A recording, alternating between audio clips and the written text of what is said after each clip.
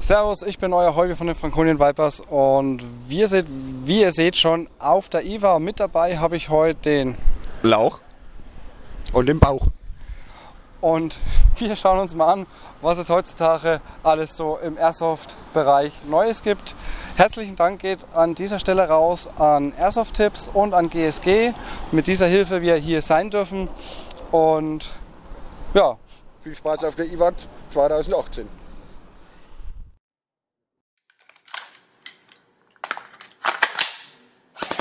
Wer hat den dicksten? FV! Danke! kannst du mal hier die Maske äh, Ja, Maske.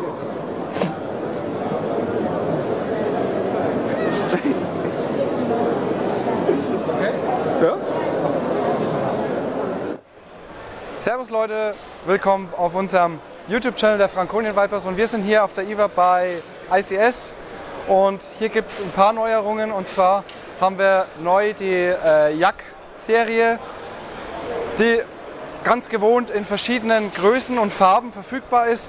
Wir haben jetzt einmal hier die mittlere Version, dann gibt es die noch als DMR auch noch, beziehungsweise ja, mir wurde ja gesagt, ich bin zu ernst, genau. Deswegen werden wir jetzt ein bisschen Lockerheit da reinbringen. Und natürlich die kurze, beziehungsweise eine Carbine-Version und so. Naja. Ähm, geplant ist, dass die Waffe mit dem neuen SSS-System ausgeliefert wird. Für Deutschland erstmal noch nicht. Mal wieder. Ähm, aber wie gesagt, Begadi kann das Ding ja anbieten und kann es dementsprechend gleich nachrüsten für euch. Das Markante ist das neue Rail-System im äh, Keymod-System und dem leicht ausgeschnittenen Abschluss vorne. Ansonsten bleibt alles gleich, geteilte Gearbox, auch die Internals bleiben gleich und damit fährt man eigentlich bei ICS schon Jahren immer gut.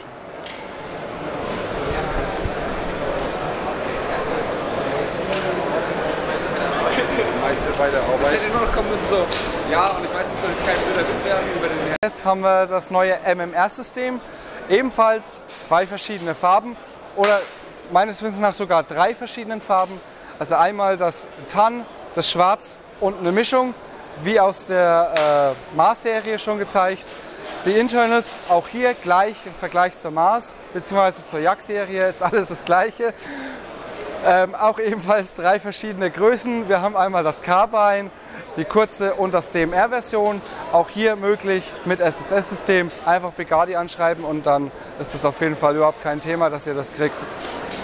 Was hier auf jeden Fall. Hast du schon? Nö. Okay. Ja, mein Kameramann ist nicht so fähig, wissen Sie. Also, wir haben auch hier ein neues Rail-System, jetzt von Begadi nachgerüstet, das M-Log-System, die Jack im Keymod und die MMR im M-Log-System.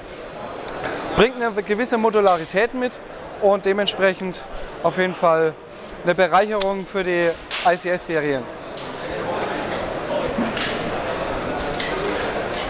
Sollst lachen. Nein, das ist nicht mehr zum Lachen.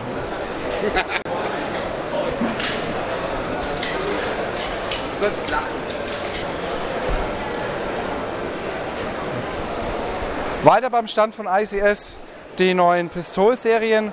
Wir haben die altbekannte BLE natürlich, jetzt schon seit knapp zwei Wochen bei Begadi in der Generation 2 schon verfügbar. Und jetzt bringt uns Begadi die XFG auf den Markt. Ist wenn so ein Glock-ähnlicher Abklatsch, finde ich jetzt. Glock. Was ist da noch drin?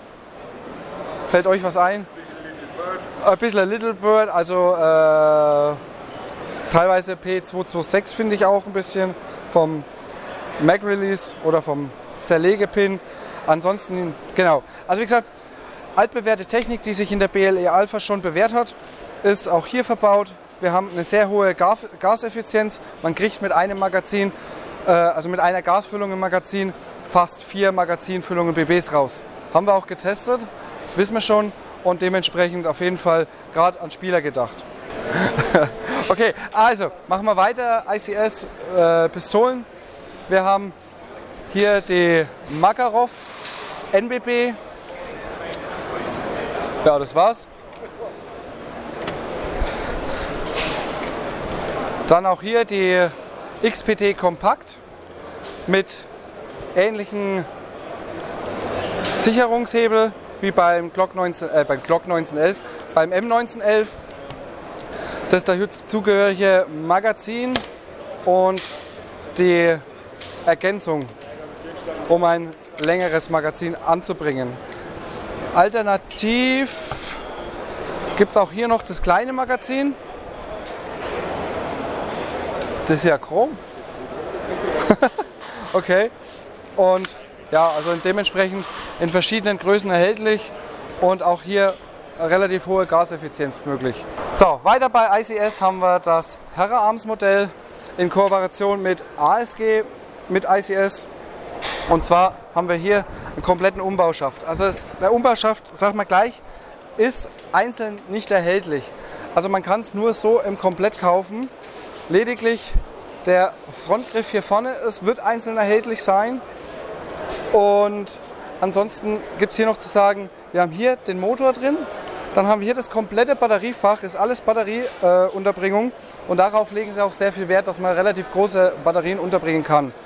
Technisch ist es auf einer Transform 4 basierend und wird dementsprechend auch im Komplettset angeboten. Äh, bin gespannt, wann das bei ICS äh, verfügbar ist. Was noch dazu sagen ist, es ist ebenfalls hier mit dem SSS-System kompatibel und kann auch genutzt werden. Das Führen der Waffe ist hier auf jeden Fall wesentlich angenehmer als jetzt zum Beispiel bei einer normalen. Ihr habt es schon gesehen, ich bin so ein bisschen so dieser äh, Ballpapp-Freund. Ich meine, da hier haben wir jetzt, halt jetzt keine Ballpapp, aber es ist trotzdem ähnlich von Führen her wie die PDR. Ein Review zur PDR verlinke ich euch oben und dementsprechend das, das Führen der Waffe, der Handguard ist jetzt schon gebrochen hier und äh, dementsprechend ist das Gewehr einfach sehr einfach zu führen, auch im CQB-Bereich geeignet. Und ja, ich bin gespannt. Sie soll äh, im August diesen Jahres soll sie auf den Markt kommen mit ca. 450 Euro, also ICS Normalpreis. Und auch noch dazu zu sagen ist zum Beispiel, es ist Herra Arms Markings drauf. Also wir haben alles, was Herra Arms ist, also heißt Stock und der Frontgriff, alles original, auch in Deutschland gefertigt und wird dann bloß auf die ICS aufgeschraubt. Gut, das war's von ICS. Ähm, ich verabschiede mich, euer Heubi. Ciao.